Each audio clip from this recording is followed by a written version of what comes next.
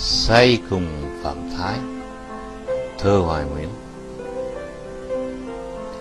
Hạ Tùng thấp thoáng giữa đường xa, Có bóng ngựa phi dưới trăng tà.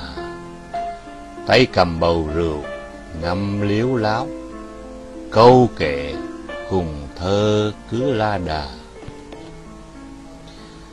Tráng sĩ giữ khuya đến tìm ta, Thì ra gã Phạm Thái đây mà.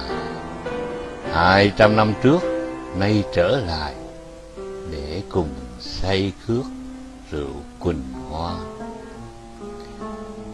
Tráng sĩ sinh giữa thời ly loạn, Lớn lên thành đất nước hoang tàn.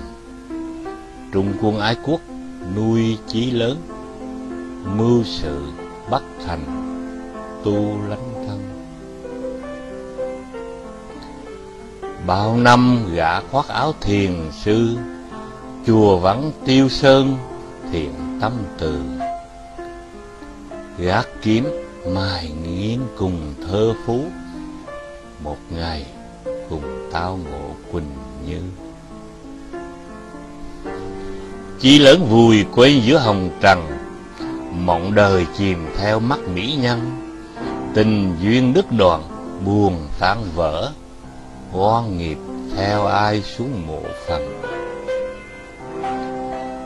Từ độ nàng hóa bụi theo mây tráng sĩ sống chi giữa chốn này?